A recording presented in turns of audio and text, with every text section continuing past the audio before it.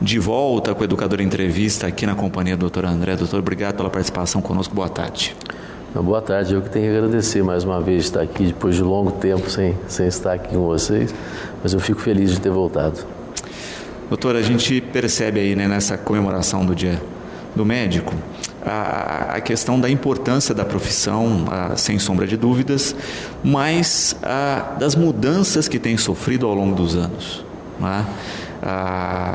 com, com um impacto diferencial mesmo na, na, na, realidade dos profissionais e também da comunidade atendida. Não, com certeza. Nós, nós estamos passando por um processo, inclusive, de, de mudanças radicais na área de saúde, da, da pessoa do médico, inclusive, na forma de atendimento do médico. E a gente não pode esquecer, eu acho que isso é importante, que é uma, uma é uma profissão humanística, uhum. humanas. Existe um relacionamento entre o médico e o paciente e esse relacionamento ninguém pode tirar. Então hoje se fala muito em medicina, telemedicina, tudo feito por computador, né? atendimentos por computador. Não sou contra, pelo contrário, tem pessoas que moram em Tocantins, no, no meio do sertão, e o máximo que ele vai ter ali é um atendimento é, ruim. Uhum. E isso você pode ter um, um acesso a um atendimento melhor, talvez tudo certo, não tem problema nenhum. Eu acho que isso é importante. A tecnologia para você acompanhar os doentes, é, por exemplo, diabéticos, hipertensos, né? A gente esteve viajando ao Vale do Silício algum ano passado para conhecer essas tecnologias. São coisas muito boas para você ter um, um, cuidado maior em relação a esses doentes. Mas eu sempre falo, é muito importante aquele relacionamento do médico, você ouvir, você conversar com o doente. Eu tinha um professor que falava assim, é, deixa o doente falar. Ele vai falar para você o que você tem, até o tratamento ele vai te falar. E hoje a gente vê que a medicina se tornou um pouco mais, vamos dizer assim, você ouve pouco doente. Às vezes você vai rapidamente você quer é, dispensar esse doente, né? E isso não é bom. Isso realmente não é bom.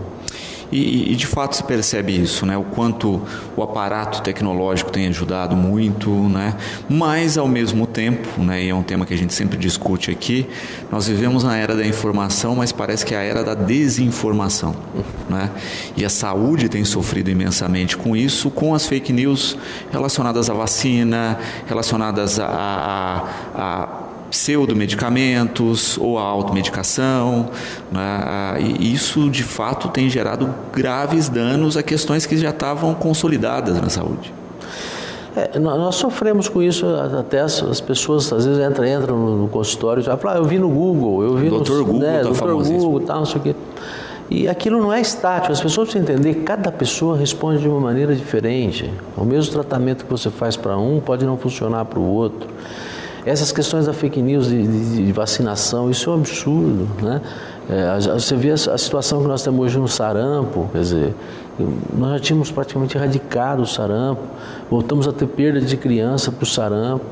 Então, é, é uma situação, é um período de transformação. Eu acho que a gente vai ter que chegar a um equilíbrio. Né? Uhum. Essas informações chegam muito rapidamente.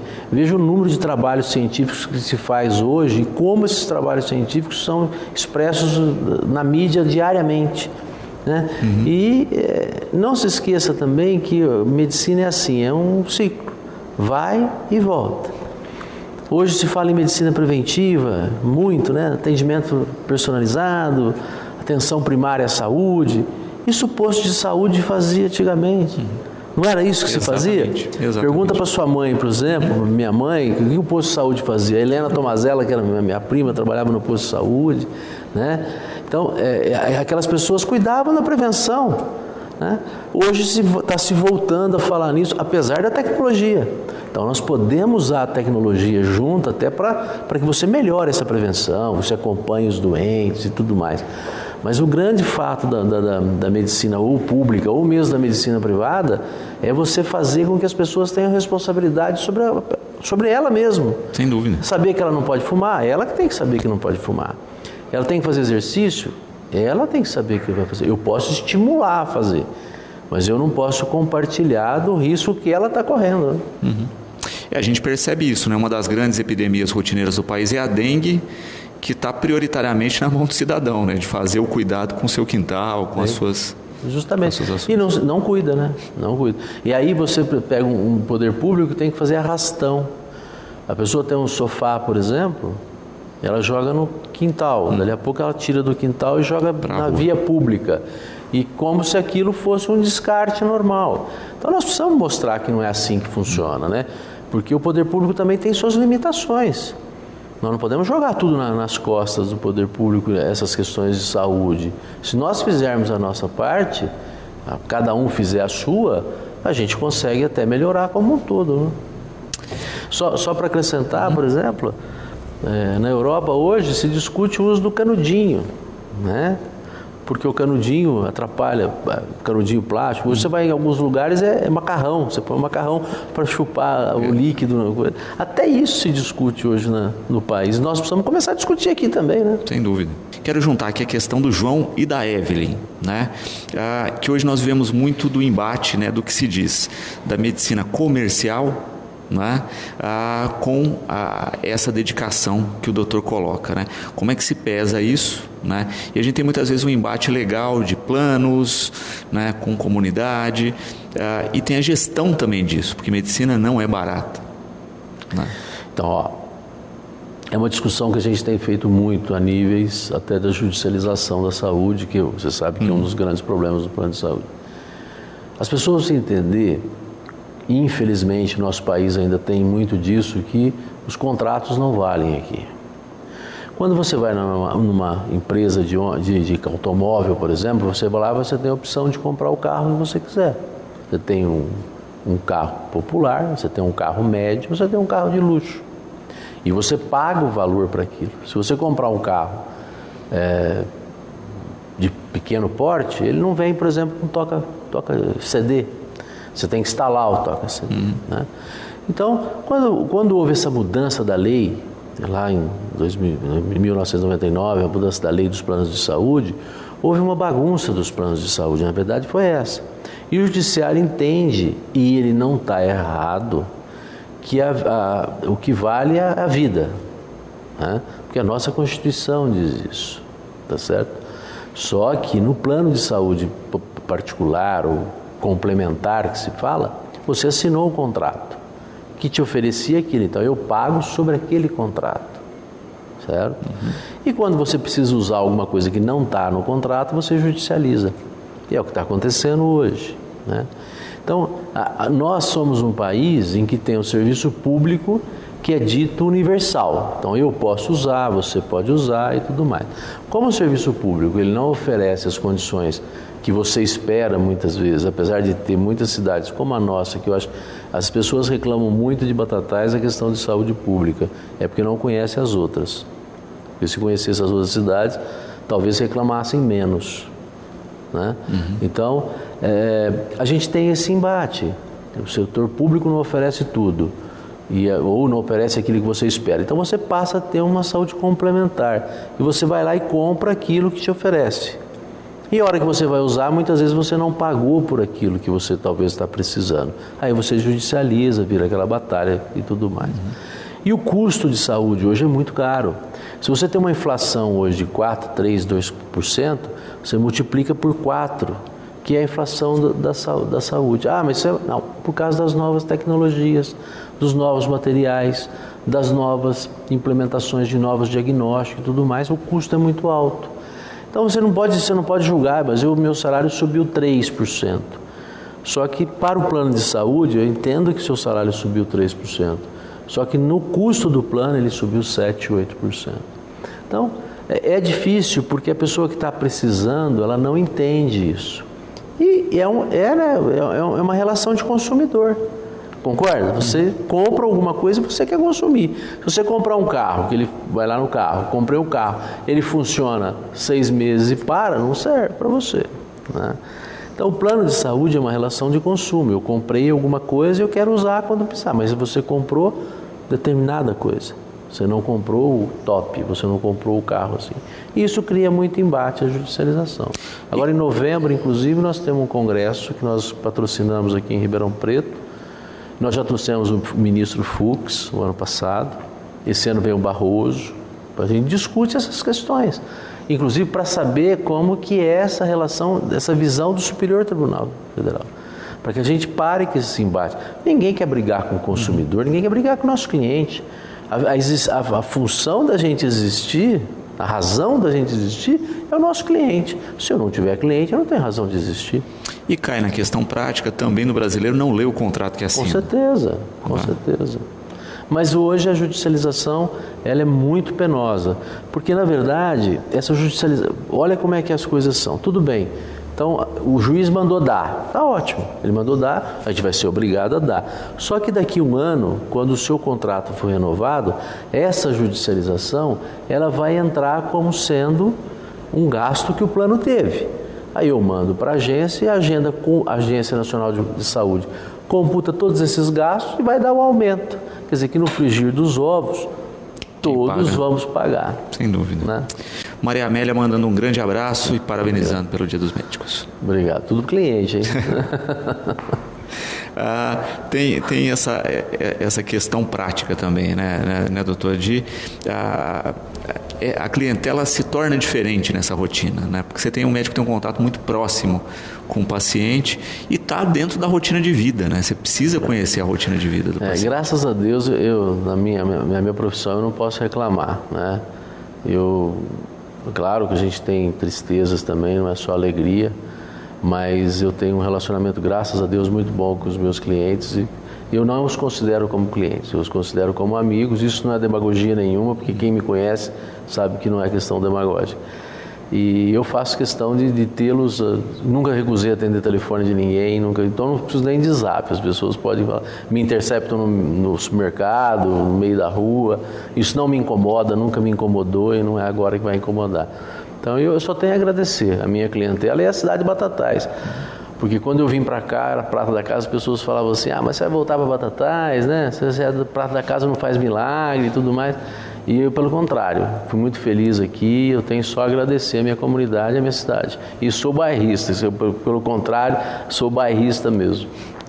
Ah, uma outra questão ah, interessante aí dessa, dessa rotina né, do, do, do, trabalho é a questão do resultado a longo prazo, né? porque eu acho que também o médico tem essa questão de acompanhar o paciente por muito tempo né, de ver essa ação. E a Carla coloca uma outra questão interessante aí, né, que inclusive dá bronca no paciente, que a gente sabe que tem paciente que não obedece o médico. É, está cheio, está cheio, mas é assim mesmo, é uma relação de confiança, né? É uma relação que a gente adquire com o tempo, uma experiência de você ter uma relação de confiança. Uhum. E muitas vezes a pessoa às vezes sai magoada com você porque você fala algumas verdades que as pessoas não querem ouvir e depois elas se conscientizam, doutor, senhor tinha razão, né? O senhor, tem, né? o senhor falou aquilo por bem. E é verdade, a gente fala às vezes, não é, não é para uma crítica, é na verdade uma tentativa de, de fazer com que a pessoa se mobilize, veja as coisas de maneira diferente. É, a gente sabe hoje que uma das doenças mais importantes hoje da nossa fase é a depressão, né? Você vê que as doenças psicossomáticas hoje são muito importantes. E isso a gente talvez um pouquinho mais de conversa, um pouquinho mais de, de apoio, as pessoas levantam e se sentem melhor. Isso é muito bom. Eu acho que às vezes um puxãozinho de orelha também para mostrar que a vida também não tem só alegrias. É uma outra coisa que você vê nesses Facebooks, que você vê no Zap, todo mundo mostra só alegria, né? Uhum. Então aquilo também deprime a pessoa. Existe até patologia hoje em relação a isso, né? Existe patologia também do próprio colega, do próprio médico, pelo estafa mental, estafa de trabalho, um número alto de suicídio na classe médica, no estudante de medicina, a pressão em cima do estudante de medicina. Então, tudo isso precisa. Aí a pessoa estuda seis anos, fica quatro anos na residência, já são dez. Aí chega um paciente lá que foi no Google, né? Então a pessoa às vezes se sente, até, os mais jovens né, se sentem e falam, pô, eu estudei, fiz tudo isso aí e tal. Então, mas é assim, a profissão é assim, a profissão é uma profissão abençoada realmente, porque permite esse relacionamento com o doente, que tem seus, seus percalços, uhum. tem suas tristezas e tem as suas alegrias, mas é uma, uma profissão abençoada. Sem dúvida. E, e, e, de fato, né, se observa essa, essa nova realidade, como nós temos colocado uh, dentro do programa, que é uma nova realidade também promissora, né, com essas novas tecnologias que com o tempo a gente sabe que também vão baratear, vão entrar num custo claro. mais na rotina das pessoas, né, que é diferente do passado, mas que também exigem esse tempo de assimilação. Né? É, existe justamente aí. A gente já viveu tempos né, complicados no passado, né? então se a gente pensa no início da medicina, muita coisa experimental, né? você tem um outro período, né? a gente falava do custo da medicina hoje, né? tem um amigo que sempre dá um exemplo muito prático. Né? Antigamente você usava uma seringa de vidro que era para todo mundo. Fervia na água. Fervia na água. da farmácia, eu lembro da farmácia. Você comprava a seringa uma vez e é. usava uma vida inteira. Justamente. Né? Mas depois se viu a consequência disso. Então, no material simples de rotina de dia hoje, que tem que ser descartável, a gente já vê o aumento do custo. Claro, com certeza. É uma prática que está aí. Mas é, que você não existe, faz isso. É, existe essa, essa tendência de muitas coisas, mesmo na medicina, muitas coisas serem descartáveis, né? E isso, isso subiu muito o custo. Né? Não digo da seringa e tudo mais, mas outros tipos de materiais. Uma cirurgia hoje de vídeo, por exemplo, que você vai fazer, grande parte do material tem, tem, tem material permanente, mas tem um material descartável. Então, olha, olha, olha como é que você gira isso. Apesar do material ser caro, você tem um material descartável que vai gerar um, um passivo ambiental, é, ambiental você tem que descartar isso corretamente. Aí você tem que pagar para pessoa, pessoa, uma empresa vir buscar esse material, fazer todo um processo de reciclagem desse material. Quer dizer, o custo sobe muito, né? E, mas o que nós precisamos é de saúde básica.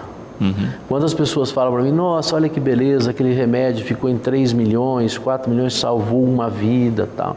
É, é emocionante, olha que beleza, salvou uma vida. Mas a gente precisa ter a base. Quantas crianças não morrem por, sei lá, subnutrição, por falta de atendimento, né? Os 3 milhões que usou lá é maravilhoso aquela, aquela saúde, mas talvez esses 3 milhões também que foram mal aplicados na base salvaria, em vez de uma pessoa, salvaria 100, 200 crianças ou mesmo adolescentes e tudo mais, né? Então, é, é um peso difícil de você medir na, na, na medicina, né? Você tem o, o, tratamentos que são ótimos, maravilhosos, custam caríssimos, 400, você viu esse processo que foi feito aqui agora há pouco tempo aqui no Hospital das Clínicas, que beleza, o cara se salvou, tudo bem, custa 450 mil dólares. Uhum. Entendeu? É, e, e... Eu não estou dizendo que não deva ser feito, sim, pelo amor de Deus. Eu falo, não, não é isso, não é pelo contrário. Estou dizendo assim, será que a gente, se a gente aplicasse o dinheiro que vem para a saúde de uma maneira menos política, mais gestão, mais com gestão, na médio e longo prazo, a gente não teria um resultado melhor para a comunidade, para a população? Né? Será que isso não seria mais viável? Você falou de médico, por exemplo, de relação. Hoje se fala em médico da família, não fala? Uhum. Isso já é feito há dos... quanto tempo? Meu pai vinha buscar um médico aqui na cidade de Charrete para levar na fazenda da ilha para consultar. Aquele era o médico de família. Se tivesse algum problema, o cara já sabia o que você tinha, né? Sem Ligava. Dúvida. Isso é o médico de família. Nós estamos voltando a, a pensar realmente nisso daí. Eu acho que a medicina ainda é e deve ser uma medicina preventiva uma medicina de conselhos para você melhorar a saúde do, da população do modo geral. Curativa, sim, curativa. É a função nossa curar, uhum. ou tentar pelo menos aliviar as dores do paciente. Mas não esquecendo da base, que é a questão preventiva. Doutor, eu só tenho que agradecer, né? Espero vê-lo mais vezes aqui no Deus programa, Deus. tá certo? É. Conversando é. conosco.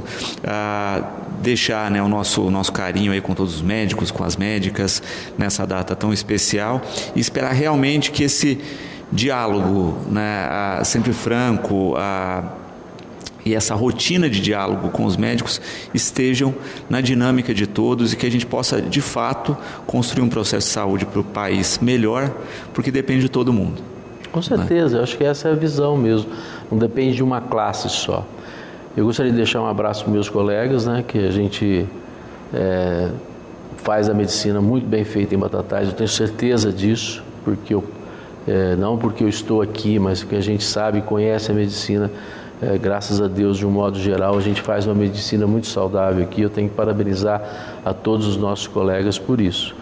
E dizer que como médico, a gente espera que uh, as pessoas tenham saúde. A gente não quer que as pessoas fiquem doentes, né? Uhum. E eu só queria fazer uma reclamação. Se você me permitir, por favor. por favor.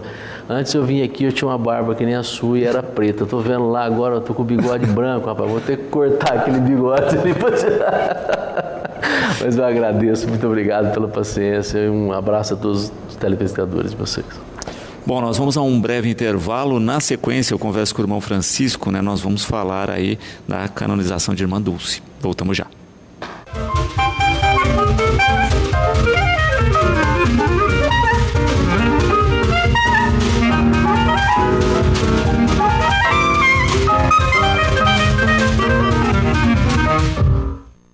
De volta com o Educador em Entrevista, agora aqui na companhia do irmão Francisco. Irmão, obrigado pela participação conosco. Boa tarde. Boa tarde, Luciano. Boa tarde aos telespectadores. Nós é que agradecemos o convite para estarmos aqui. Irmão, nós falávamos aí numa entrevista no passado né, a respeito também de uma canonização, né, de um outro santo com ligação com o Brasil, mas agora nós temos a nossa Santa Irmã Dulce, né, e aí a gente vai falar um pouquinho desse processo, mas que lá na época a gente já conversava com a questão da beatificação desse passo a passo. E eu queria abrir exatamente com isso, né? Como é que é esse passo a passo para né, a, chegar. a chegar a um santo aí? É, é só para a gente relembrar, né? É, vamos nós sabermos que pela nossa fé, pela nossa doutrina, é, quem são os santos? Santos são todos aqueles que fazem a vontade do Pai. Isso está escrito na palavra de Deus.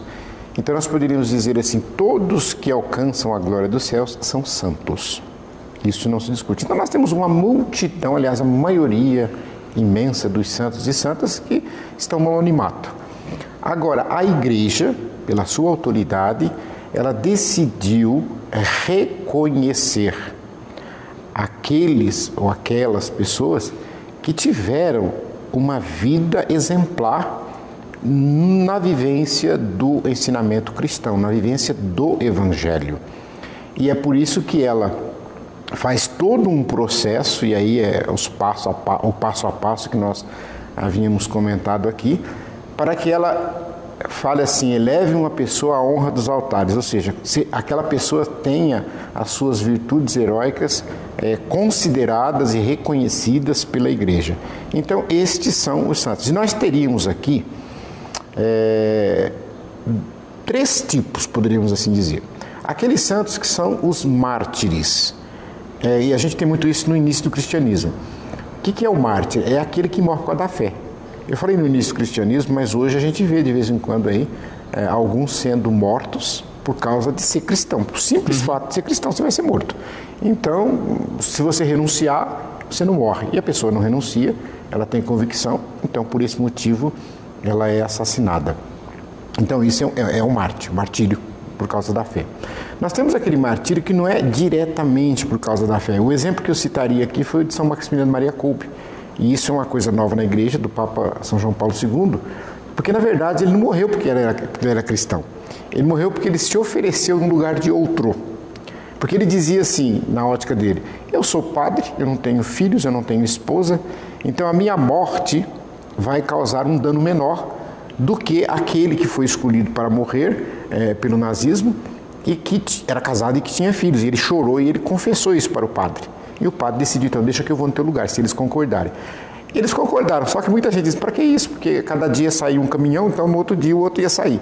E não é que as tropas aliadas chegaram e o cara foi libertado. E aí foi muito bonito, porque quando ele foi canonizado na, na, na Praça de São Pedro, é, esta família estava lá porque isso eu estou falando de 1945, né?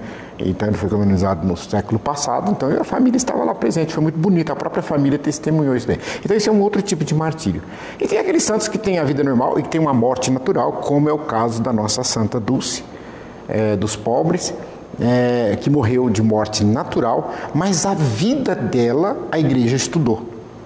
E a igreja encontrou durante toda a sua vida uma dedicação ímpar para com os pobres, para com o bem comum, que são princípios e valores cristãos, não são exclusividade nossa. A fé cristã, sim, mas a, a, os princípios e valores do bem comum, eh, da natureza, da defesa da, da ecologia, etc. Tal, isso são bens que outras religiões também participam, que a gente comunga. E nós temos aí na vida de Santa Dulce, que iremos discorrer ao longo do programa, testemunhos maravilhosos dessa mulher. E os santos são assim em relação ao ecumenismo, uhum. em relação ao diálogo interreligioso, porque nós sabemos é, o estado em que ela foi nascer, que é a Bahia, ali a questão das religiões, elas pululam, né? principalmente as de matizes africanas, então, quer dizer, e ela conviveu com tudo isso e muito bem. E é reconhecida e respeitada por todos eles. E é, por isso que é santo. E é um estado de fato que as religiões convivem em harmonia. Convivem. É, eu estava citando o exemplo de Santa Dulce, dos pobres. É, é, vamos lembrar aqui São Francisco. Ele viajou não para ir à Terra Santa porque queria ver o lugar que Jesus nasceu ou foi crucificado, mas ele viajou para o Oriente Médio para encontrar com o sultão, para encontrar com aquele que representava o islamismo, para buscar a paz. Então veja bem que os santos têm essas coisas, né? E eu ouvi muitos testemunhos de pessoas da Umbanda, de pessoas do Candomblé, é, de pessoas do Espiritismo que estão ali na, na, na Bahia, testemunhos maravilhosos é, em relação à, à convivência dos seus antepassados, da, da, da, da, forma como a irmã Dulce tratava todos eles. É aquela história, ela nunca perguntava que religião que eles eram para poder atendê-los, etc. E eu, eu não sei se você viu, um dos belíssimos testemunhos que eu até, é, quando vi, eu vi, na verdade, eu vi um post que, que saiu do Paulo Coelho, né? E eu pensei comigo logo, porque fala-se tanta coisa, sabe que isso não é fake news, não, né? Uhum. Ah, porque o Paulo, Coelho é tido como um mago, não sei o que, aquela coisa toda, né? E, mas aí depois eu vi, né, em um programa televisivo, o, o próprio Paulo Coelho sendo entrevistado, né? E ele dá um testemunho belíssimo da, da história dele com, com, com Santa Dulce dos Pobres. Por quê? É, no testemunho que ele diz, ele, ele diz o seguinte, que ele estava internado no, no, hospital na Bahia, é, e eles fugiram, né? ele estava com 17, 18 anos, alguma coisa assim. E foram para a rua, né? foram para a rua. E ele, no testemunho, ele diz assim, vocês podem procurar depois, que vocês encontram aí na, na, na, nas redes sociais, ele diz assim que foi a pior experiência que ele teve na vida. Qual que é a pior experiência? Passar fome. Ele falou, nunca tinha passado fome.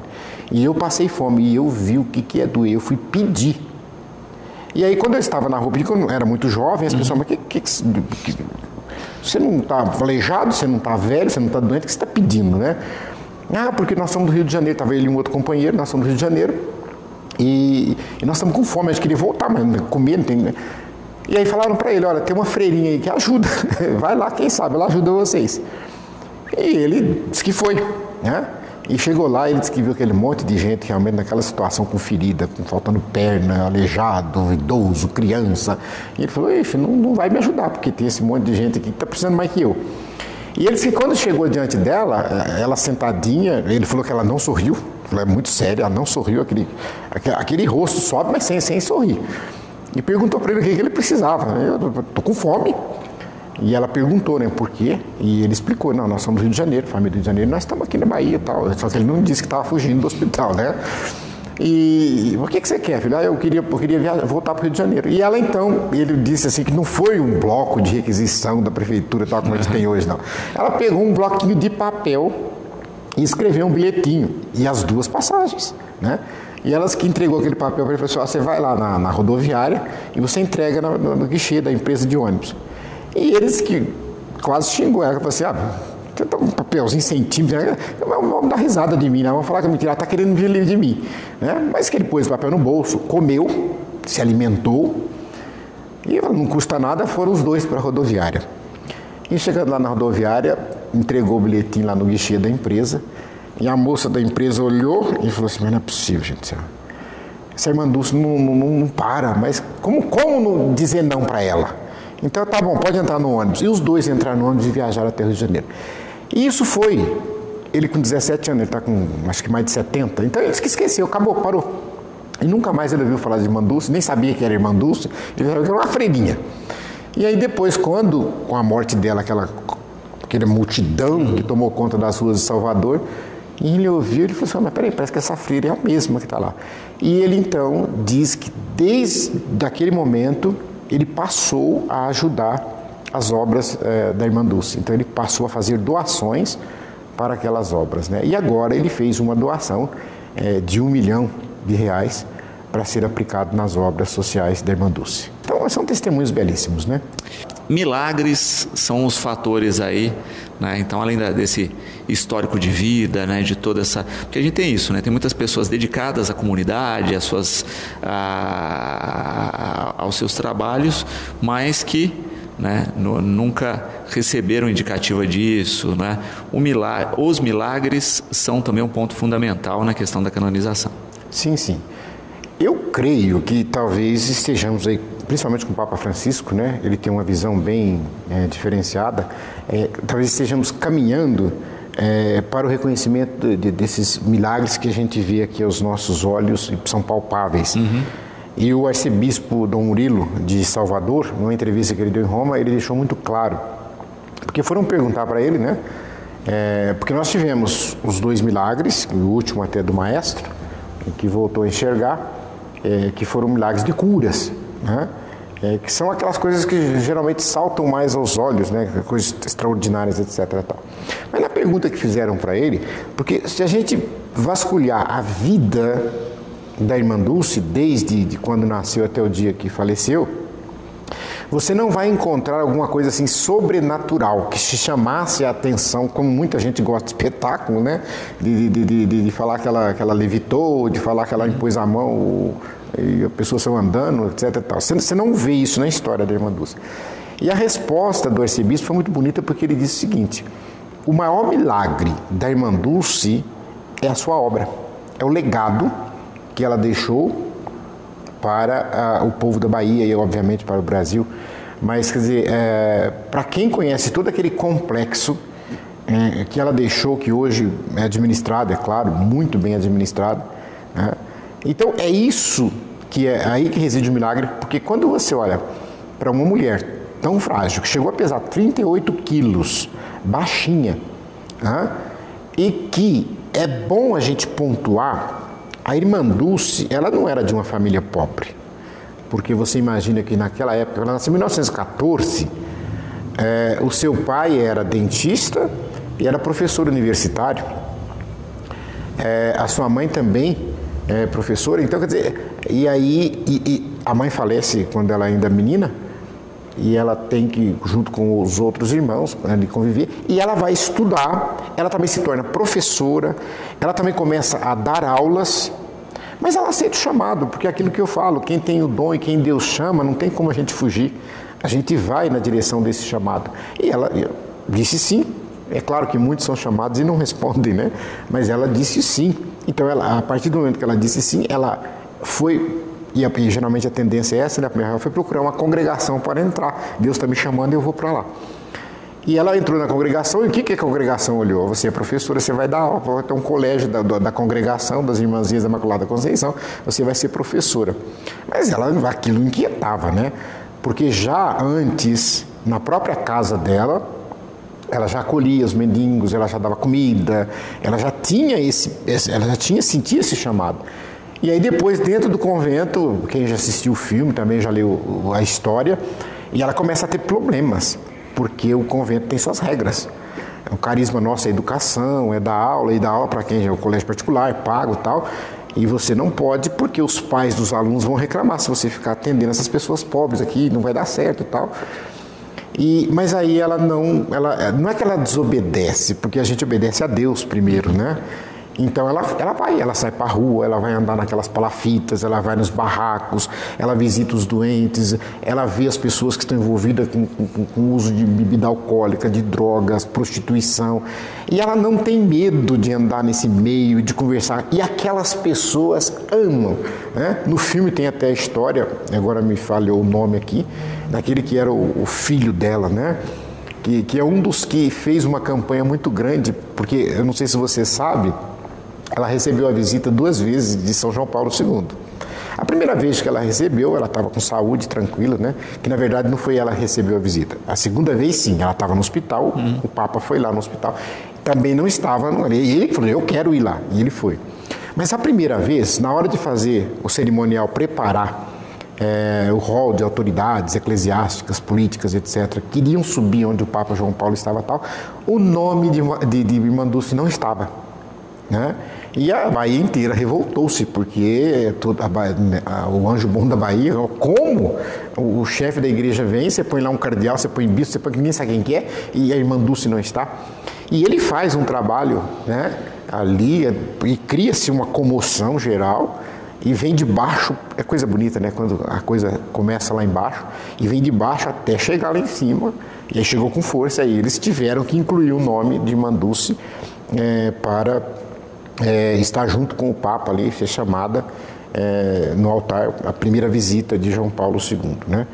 Então, nós estamos aqui pontuando algumas coisas, mas depois, então, é, é, é, não batendo de frente, né, Luciano, mas assim, vamos dizer, é, é, com jeitinho, aquele jeitinho de, do, do, baiano, ela vai convencendo as suas superioras. Exatamente. E, e ao ponto de depois a gente contar a história do hospital, mas quer dizer, uhum. ela simplesmente, a irmã você não pode sair.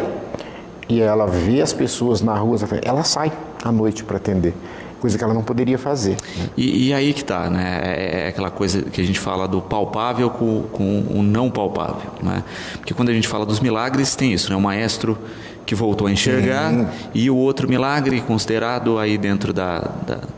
foi de câncer. Agora eu não vou que, que é, mas enfim, né? Que a gente tem essa coisa ah, muitas vezes da do inexplicável, né? Dentro do processo. Mas né, toda essa ação e a estrutura que ela cria em vida já é inexplicável. Né? De mobilizar as pessoas em prol de um projeto tão gigantesco, de mobilizar pessoas a, a colaborarem, a se voluntariarem, a auxiliarem com recursos, a, a cederem estruturas, enfim. Né? E, e, e, eu tenho uma visão que isso é muito mais ah, complicado e impalpável do que as outras coisas que aconteceram. É, é, é, o, o, grande milagre é você partir do nada. Exato. Primeira coisa, você partir do nada. Segundo, primeiro lugar, ela tinha é, tudo para ser uma profissional bem sucedida no campo da educação. Ela abandonou.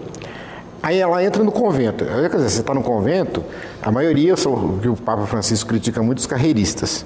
Então você pensa, eu vou ser econômico, eu vou ser superiora geral, eu vou ser madre, eu vou ser não sei o quê, eu vou estudar em Roma, eu vou então. Tem tudo, todo esse universo pela frente, principalmente considerando para quem era professora naquela época, eram raríssimos casos de algumas irmãs que tinham curso superior, estudo, ou magistério, fosse o caso. Mas ela tinha tudo isso. E aí, quer dizer, na verdade, ela abandona também tudo isso, porque embora ela não tenha deixado de ser freira, mas o caso dela é muito parecido com o caso de Madre Teresa, né? Porque inclusive no ano em que a Madre Teresa foi indicada que ela recebeu o Prêmio Nobel da, Nobel da Paz, é, ela vem na Bahia, ela vem visitar, a convite de Dom Avelar, que era o arcebispo da época, ela vem em Salvador visitar as obras da Irmã Dulce. E Irmã Dulce, olha que coisa interessante, naquele momento, Irmã Dulce estava passando uma dificuldade muito grande, tanto financeira como de, de administração, de gestão, porque geralmente nós não somos gestores, Geralmente a pessoa ela tem um chamado, ela vai, e, mas ela precisa de, si, de assessoria de pessoas que vão juntando e tal. E ela estava desesperada. E, e para quem não sabe, a Santa Dulce chegou a oferecer para a Madre Teresa as obras sociais, porque ela sabia que a Madre Teresa a Matriz fundou uma congregação. Uhum. E Santa Dulce não fundou uma congregação. Ela tocou sozinha aquilo ali. Ela não tinha irmãos, irmãs. Não, não. Era ela. E o restante eram os voluntários, as pessoas de boa vontade, etc. Então, por isso, ela, quando ela viu a Madre ela falou: Eu vou oferecer para a Madre porque se a Madre assumir as obras, ela traz as irmãs e tal, e ela já está esparramada para o mundo inteiro, ela consegue administrar. Mas Madre Teresa, coisas, coisas de Deus, né? Madre Teresa não aceitou. Ela falou: Não, é seu a missão é sua, pode tocar. É uma coisa muito bonita na vida, essas duas santas. Eu, eu fico imaginando você olhar um encontro desse, né? Encontro entre eh, Madre Teresa de Calcutá e, e, e, Santa Dulce dos Pobres. Principalmente porque, eh, quando eu falava no começo do programa que eh, Santa Dulce vai nesse lugar que é a Bahia, né? E, e aí eu olho para Madre Teresa, ela vai na Índia. Hum. Quer dizer, que não tem nada, é, tem muita coisa de não cristão, quer dizer, várias religiões diferentes, hinduísmo e tudo, etc. E é ali que ela vai fazer o evangelho acontecer, é ali que ela vai atender a todos, né? E isso é de suma importância para nós cristãos olharmos aquilo que nós somos chamados a realizar e que nós temos. E também destacar, quando eu falei que Madre Teresa recebeu, a irmã Dulce ela foi indicada, né? Uhum. Embora ela não tenha sido escolhida, foram os capacetes azuis uhum. que, que, que, receberam. As duas indicadas ao, ao, Nobel da Paz. Estavam ali as duas juntas, né? É uma coisa muito bonita, né? Eu saber que tem pessoas que se entregam, pessoas que se dedicam, né? E que hoje, graças a Deus, não só pela igreja, mas vem esse reconhecimento é, do, de uma nação inteira e de tantas religiões, porque eu vi uma crítica, é, eu não vou citar aqui a, a, religião, mas eu vi uma crítica sobre a questão da canonização. Então aí a gente precisa dizer o seguinte: a canonização dos santos é, uma, é doutrina da Igreja Católica. Então se você não é católico, você não precisa acreditar, você não precisa criticar. Assim como eu também não vou criticar a prática espírita, a prática protestante, a prática de outra religião, porque eu não sou daquela religião, eu respeito. Então, no catolicismo, nós temos essa, essa prática, é nossa doutrina, é a nossa fé é, de vivenciar isso. Então, não, não, não critique. Né? Ah, quando você. As pessoas que foram ou que não foram a Roma, ninguém foi amarrado para ir assistir.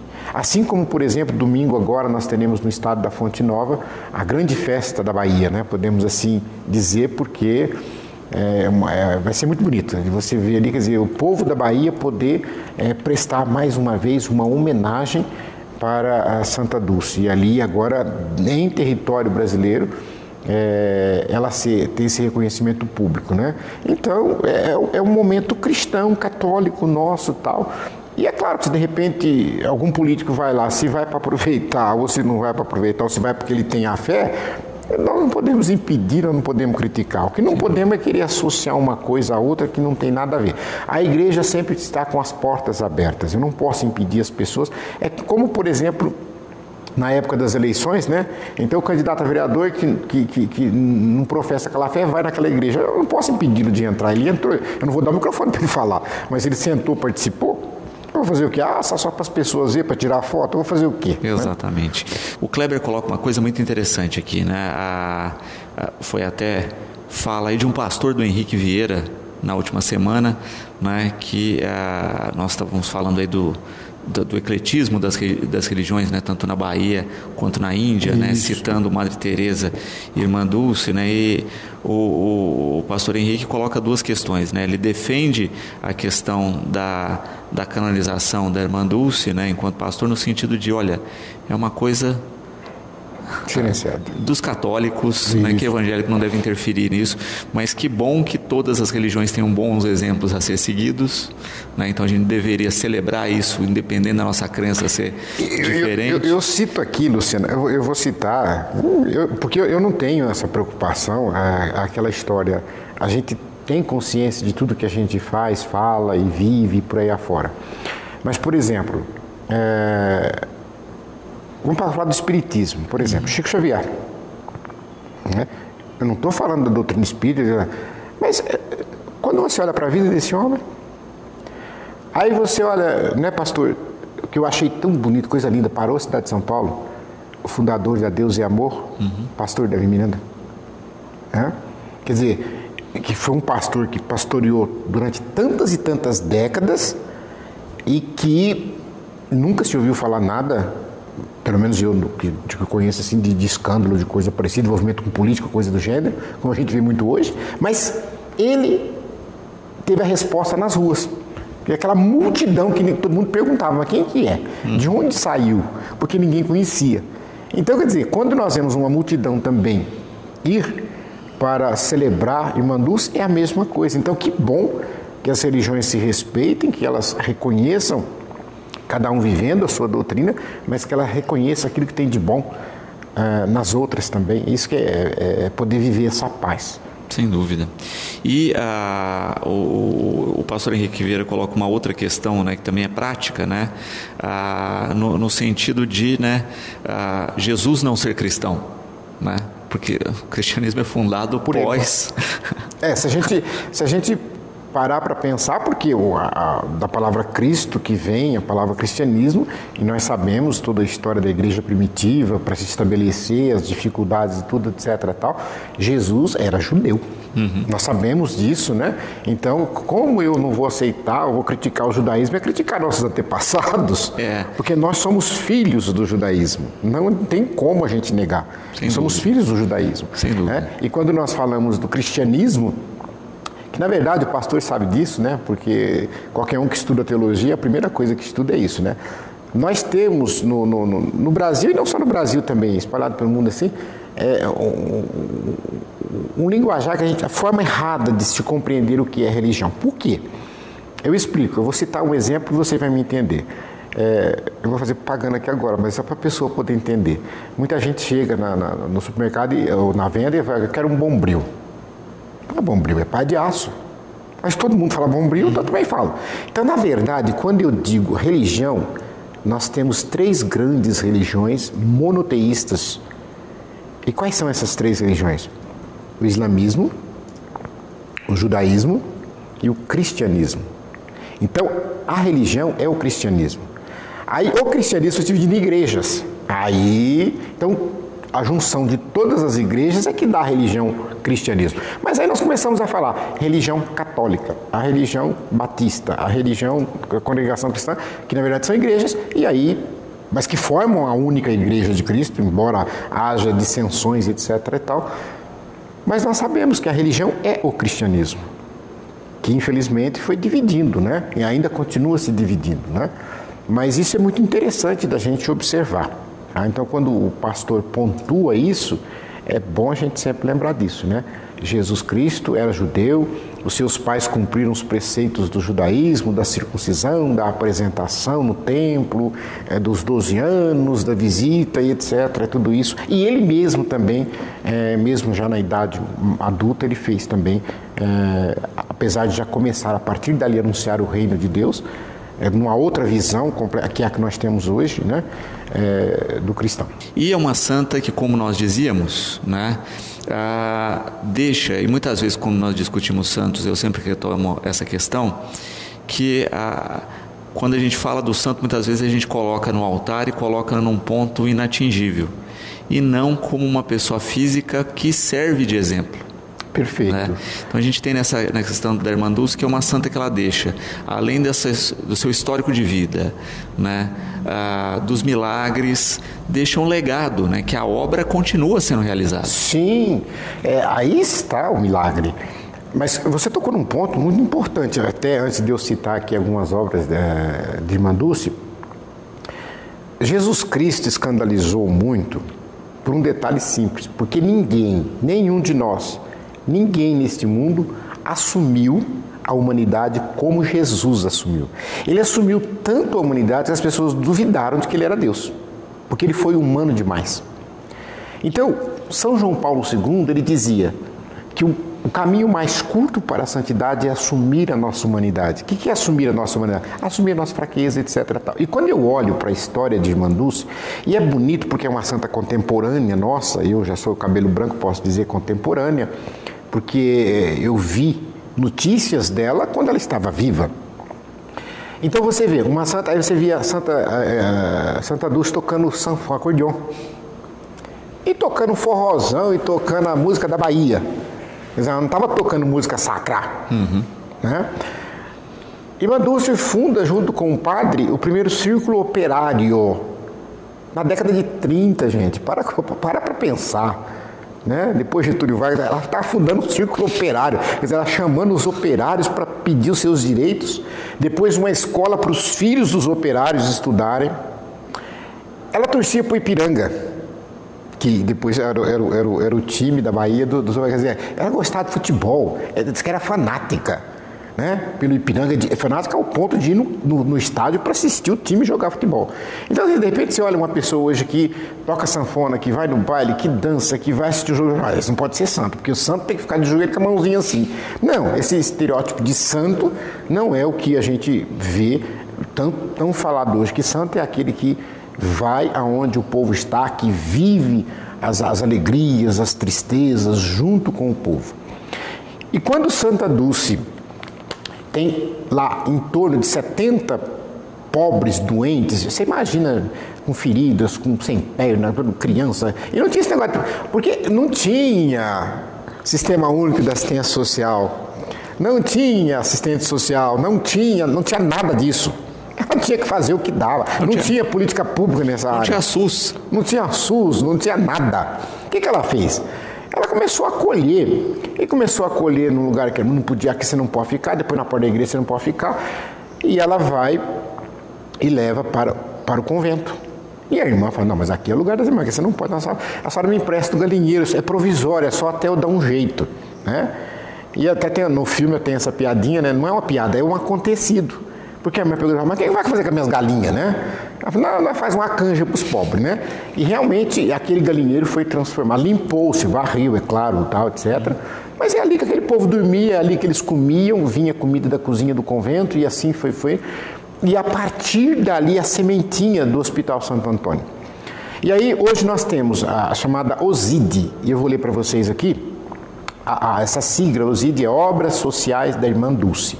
É OSID, OSID. É, no campo da saúde, que foi por onde ela começou, com o Hospital Santo Antônio, que não era Hospital, era o Galinheiro, é, que hoje, vocês imaginam, tem, tem quase 20 mil internações por ano, né? é, mais de 10 mil cirurgias, é um prédio de tantos andares, etc. E tal. Tem o Hospital da Criança, que é no oeste da Bahia, tem o Hospital Eridice Santana, tem o Hospital Regional Dr. Mário Dourado Sobrinho, tem vários centros de atendimentos diversos, residência médica, multiprofissional, escolas de enfermagem, centro de pesquisa clínica e um comitê de ética da pesquisa. Quer dizer, é um complexo da área da saúde. Na área da educação, ela tem a escola que ela fundou, né? E é, é, uma, é uma escola que eu costumo dizer que é muito que é período integral. É modelo, é uma escola modelo, onde os alunos é, têm diversas atividades de, de, no campo da arte, da cultura. É, aqui eles têm, por exemplo, lá, é, chama César, né? Eles têm o, o 700 crianças né, que estudam em tempo integral. Eles têm o centro de panificação e lá tem os diversos pães e produtos Irmã Dulce, né? Então, de, Dulce Natura, é, pão de forma, panetone da Irmã Dulce e tal, tudo para poder ajudar a manter a escola. É, tem os cursos de enfermagem, como eu disse, curso de extensão de enfermeiro, cursos de técnico de enfermagem, curso de aprimoramento em fisioterapia, curso de cuidadores de idosos, tudo voltado para aquilo que é a própria obra da Irmã Dulce. Então é, é, é um complexo, na verdade. Tem programa de rádio, tem programa de televisão, tem jornais, revistas, informativos, e tudo isso é administrado por um conselho. É, é, então hoje, quer dizer, a irmã Dulce morreu, como o Luciano lembrou, mas a obra continua, porque a obra não é dela. A obra é de Deus, a obra não é nossa. É, eu me lembro que uma vez, é, quando eu fui sair candidato, eu tinha que me afastar da Comarev. Nós fundamos a Comarev em 97 e então eu fui presidente, eu era tudo no começo da, da Comarev, porque eu, Renan, o Padre Eloy, o pessoalzinho que ajudou o Padre Gil, o pessoal que ajudou nós, né, Dona Nícia, aquele pessoal, os primeiros, a Ivani, é, e quando eu fui afastar, muitos disseram: não, pelo amor de Deus, o senhor não pode sair. Se o senhor sair, isso aqui fecha, isso aqui acaba. Está falando, então é bom que eu saia. Porque se eu sair e isso fechar, então isso é meu. Uhum. Agora, eu tenho certeza que isso aqui não é meu. Primeiro, que eu nunca pensaria em fazer uma coisa dessa, eu nunca teria ideia, imaginaria que seria isso. Né? Da mesma forma como hoje, quando fomos para a fundação da, a, a, da comunidade missionária, nunca passou pela minha cabeça que seria como é hoje. Porque se passasse, acho que eu não teria coragem de fazer. Mas quer dizer, Deus chamou eu disse sim, fomos e. Agora, só que eu preciso entender que isso não é meu. Porque se é meu, eu vou levar para casa. Não. É, eu sou aposentado. É, eu estava brincando aqui, apesar de ter sido chamado de vagabundo, mas nós somos aposentados, né? É, e eu poderia estar cuidando, como tenho muitos companheiros que são aposentados, Luciano que vai pescar toda semana, que tem seu rancho, que tem sua vidinha tranquila, ou que montou seu negócio particular. É, eu sou advogado inscrito na OAB, vou montar meu escritório, vou advogar. Não, não é isso que eu quero. Então, eu me dediquei é, para trabalhar nesta obra. Mas o dia que eu morrer, ela tem que continuar com as pessoas que estão lá. Ela não pode parar. Né? E a gente precisa entender, e aqui eu faço um reconhecimento público, um apelo para que todos possam reconhecer melhor. Batatais é uma cidade privilegiada. Eu não conheço uh, nenhuma cidade igual. Eu conheço muitos municípios, mas igual Batatais, no campo da, eu vou falar da, da nossa área da assistência social, naquilo que se refere às entidades assistenciais. Para tudo que você pensar, tem uma entidade aqui. Para tudo que você pensar, se é para idoso, se é para criança, se é para deficiente, se é para morador de rua, se é para tudo tem. E essas entidades sofrem para manter os seus serviços, porque muitos deles não, não tem como ser financiados, não são financiados. E a população é que mantém, que nos ajuda, e nós agradecemos publicamente a vocês isso, porque o que nós precisaríamos entender é que o que essas entidades fazem é função do poder público. Então não adianta você jogar nossa cara, por que você está fazendo? Porque, por exemplo, se você pega uma escola, se você pega uma creche, se você pega uh, uma vaga de APAI, se não tivesse a entidade, a prefeitura teria que fazer. Porque se a prefeitura não faz, a família vai na justiça e o juiz determina, arruma uma vaga para essa criança nessa escola. Ora, se a criança custa X por mês, 100%, o poder público teria que custear os 100%, porque a entidade não é obrigada a trabalhar de graça ou ela não é obrigada a pagar. Mas nós fazemos isso aqui em Batatais. E, e, e todos precisam olhar para uma PAI como referência, como modelo, olhar para um cantinho do futuro que eu fico vendo a Cida cada vez a cabeça mais branca coçando para começar a cair, de tanto desesperada que ela fica, porque nós, a gente conversa, a gente sabe das dificuldades que todas as entidades passam e da doação de cada um que está ali à frente da entidade. Estes são, eu não sei quem, a religião daqueles que se doam pela Pai, daqueles que se doam pelo Cantinho do Futuro, daqueles que se doam pela, é, pelo Samaritano, pelo Barçanufo, pelo Lazarino, tudo, não importa, são exemplos de doação, que é uma das primeiras qualidades de santidade. Então a gente precisa reconhecer isso. Então, quando nós olhamos para um exemplo que veio de tão longe, da irmã Dulce, nós devemos olhar para quantas irmãs Dulce também nós temos aqui, mas que estão doando, que estão entregando a sua vida para uma causa pública que infelizmente às vezes o poder público não dá conta de, de atender, então estão aí todas essas entidades fazendo essa rede tão maravilhosa para poder atender. Eu queria aproveitar, Luciano, também dizer é, porque muita gente fica, isso é interessante a gente dizer, que está no decreto da, da, da, canonização da Irmã Dulce, porque a data, eu sei que tem um projeto, acho que, tá, acho que já até foi aprovado, é, dia 13 de outubro, dia da Irmã Dulce. Mas a igreja ela tem as datas para comemoração.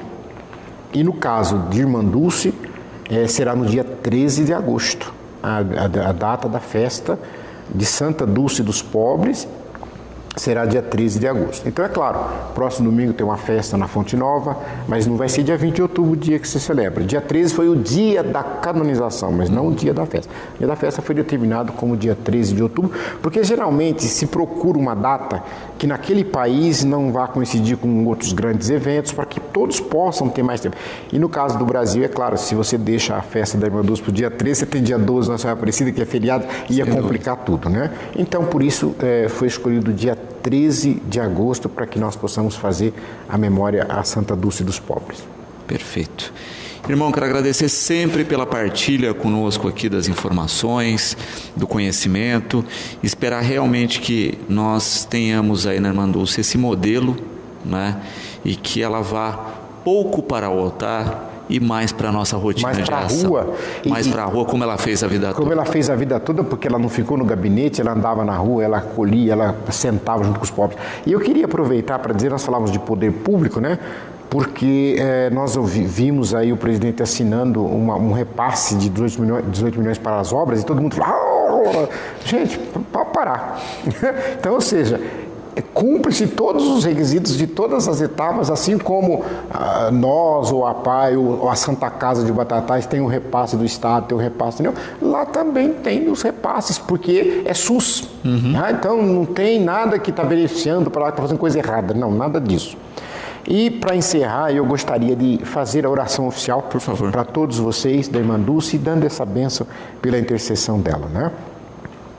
Senhor nosso Deus, lembrados de vossa filha, Santa Dulce dos Pobres, cujo coração ardia de amor por vós e pelos irmãos, particularmente os pobres e excluídos, nós vos pedimos, dai a cada um de nós idêntico amor pelos necessitados.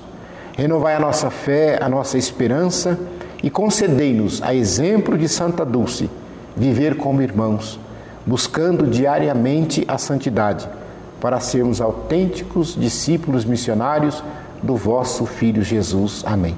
E que por intercessão de Santa Dulce dos pobres, desça sobre vós, sobre as vossas casas, vossas famílias, a bênção do Deus Todo-Poderoso, que é Pai, Filho e Espírito Santo. Amém. E nós encerramos por aqui o Educador Entrevista. Ficamos agora na companhia da TV Brasil. Voltamos amanhã, como sempre, logo após o Fique Sabendo. Até lá.